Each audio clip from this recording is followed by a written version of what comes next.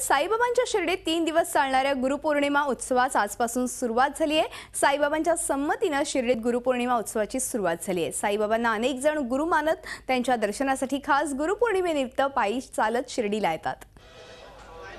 साईबाबा हयात असताना काही भक्तांनी साईबाबांना गुरु म्हणून पूजण्याची परवानगी मागितली होती. साईंनी पहिल्यांदा द्वारका माईतल्या एका खांबाला आणि नंतर स्वतःला पूजण्याची परवानगी दिली होती. तेव्हापासून शिर्डीत व्यास पौर्णिमा अर्थात गुरुपौर्णिमेच्या दिवशी लाखो साई भक्त बाबांच्या दर्शनाला येत आहेत. देशविदेशातले हजारो भक्त शिर्डीत दाखल झाले तीन दिवस हा गुरुपौर्णिमा उत्सव चालतो. सकाळी काकड आरतीनं उत्सवाला सुरुवात झाली. नंतर साईबाबांचा फोटो आणि पादुकांची मिरवणूक काढण्यात आली. त्यानंतर साई चरित्राच्या अखंड पारायणाची सुरुवात करण्यात आली.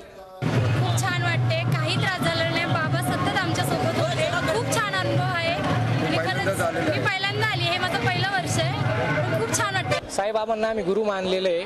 आणि दोनशे किलोमीटरवरून पायी चालत आलो आहे आम्ही. प्रत्येक वर्षी येतो. साईबाबांवर श्रद्धा आहे. साईबाबांमुळे आमच्या भरपूर कामांमध्ये उत- उन्नती झालेली आहे. त्याच्यामुळे आणि पालखीबरोबर आमचे अडीचशे जण आहे. रामनवमी आणि गुरुपौर्णिमेला साईंच्या दर्शनासाठी चालत येण्याची प्रथा आहे. देशाच्या अनेक भागातून साईंच्या पालख्या शिर्डीत दाखल होतात. यावेळी पुण्यातून आलेली पालखी विशेष होती.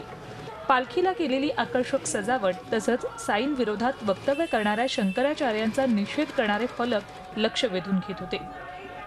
शिर्डीहून Prashant शर्मासह bureau report Zee media Mumbai. Zee चोवीस तास. रहा एक पाऊल पुढे.